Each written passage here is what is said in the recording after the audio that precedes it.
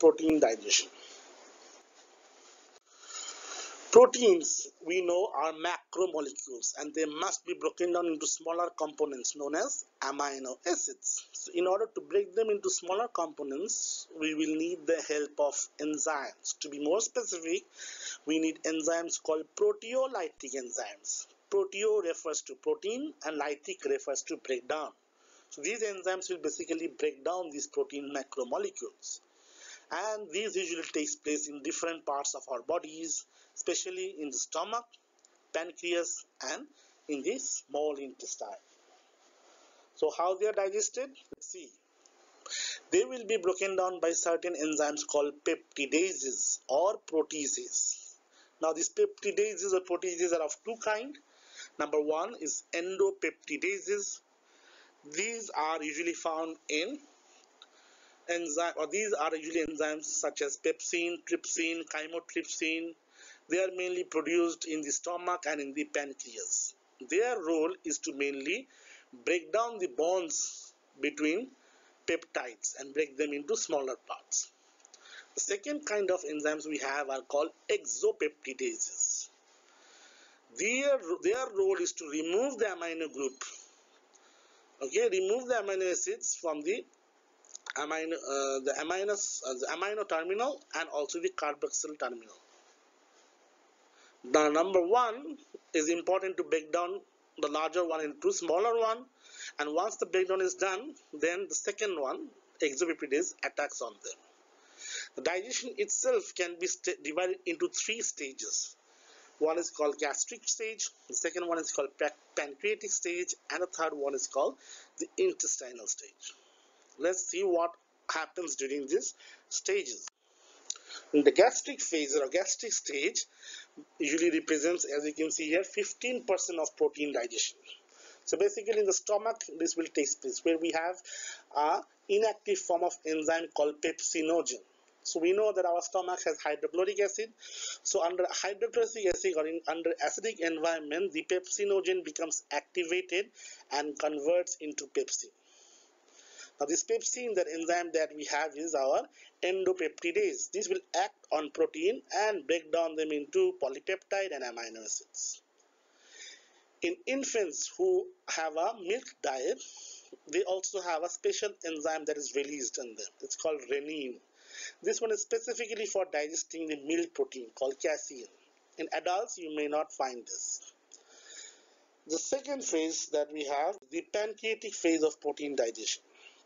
Now, after the gastric phase have ended, okay, next one, the pancreatic phase will begin.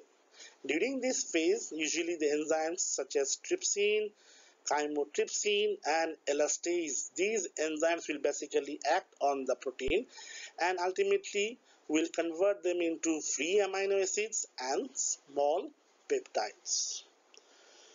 The third phase is the intestinal phases.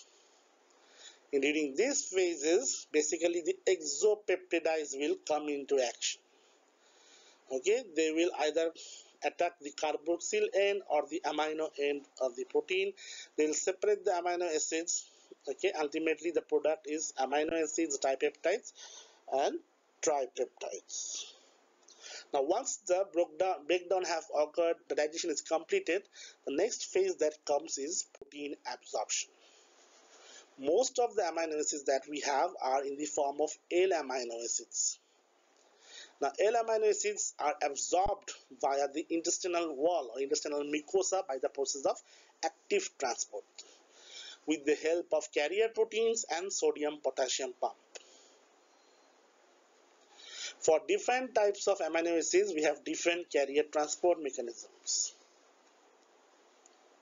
Okay, so you will see here basically mostly the proteins are absorbed by the process of active transport. But if we have a D isomers I am talking about most of them are L as you know. But in cases with minute amount of amino acids which are having a D isomer they are transported via simple diffusion. Keep in mind that tri and dipeptides can be actively transported faster compared to the individual amino acids some proteins are absorbed in an intact form. Examples includes immunoglobulins which are found in colostrum of the mother's milk and vaccines. These proteins can be absorbed in an inactive uh, in an intact form okay via the process of endocytosis. Now, once the amino acids and the proteins are absorbed, what happens next then? What is the fate? The amino acids are used for synthesis of protein or synthesis of small peptide biosynthesis. The GSH that you see here stands for glutathione. Okay, glutathione. This is also known. This is also known as the master oxidant of the body master oxidant, antioxidant of the body. So the amino acids they can be used to build up this biosynthesis of glutathione. Third role or the third fate is that the non-protein nitrogenous compounds that are formed in the body, for example, ketylene, urea, ammonia, and uric acid, again this can be formed after the amino acids Number four, deamination and transamination. This can happen to these proteins and amino acids in order to synthesize new amino acids or glucose or even ketone bodies, especially in the state of starvation. See here, sources and fates of amino acids. So this is an important definition, protein turnover. What basically this means? Basically, the source of protein in our body is dietary protein. Okay, and so it, it, it is defined as breakdown. It includes both synthesis and breakdowns of protein molecules. Whatever that is left in balance in between them are known as protein turnover. So the total amount of protein in body of a healthy adult is constant usually. Because why? Because the synthesis of protein and breakdown of protein is usually equal to maintain a balance.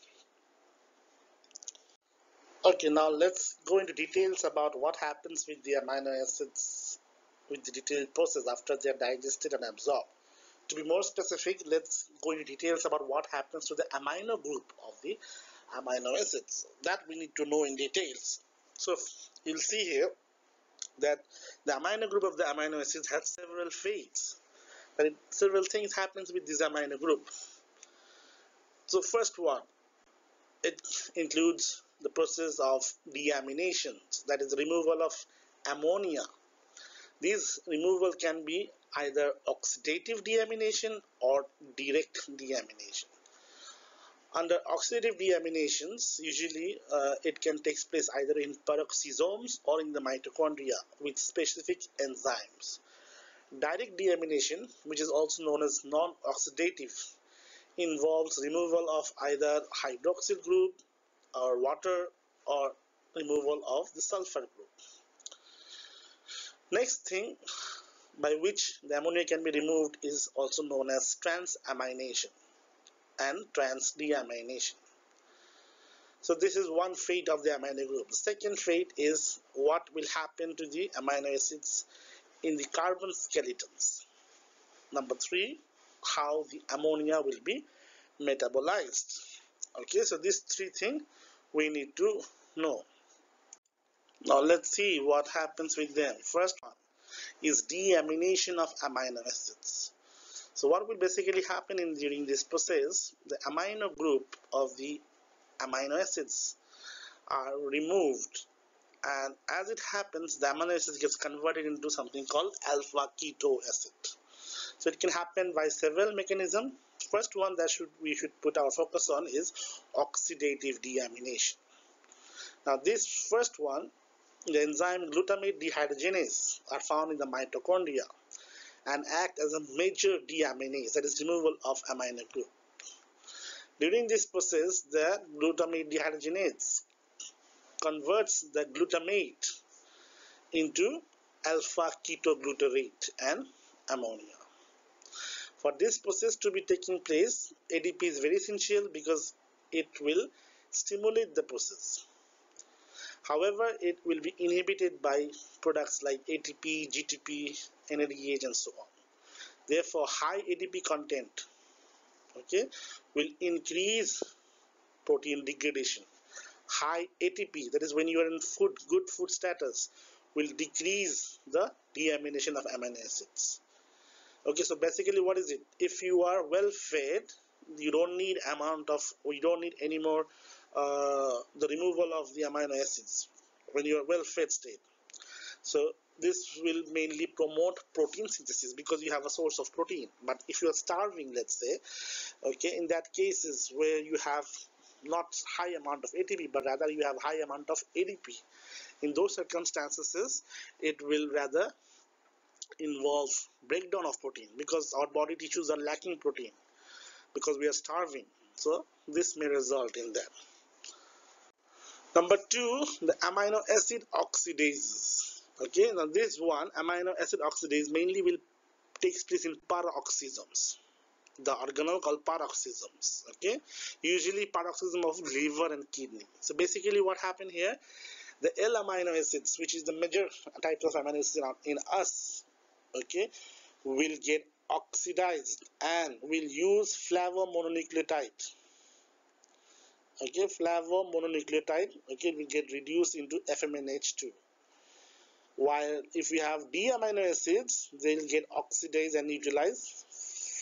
Flavoadenine dinucleotide FAD ultimately what will happen? The amino acids the imino acids amino groups are removed and it gets converted into imino acids and keto acids. Do you guys remember amino acids? It was a pyrrole uh, ring with proline if you remember the second mechanism by which the ammonia can be removed, the amine group, is non-oxidative deamination, also known as direct deamination.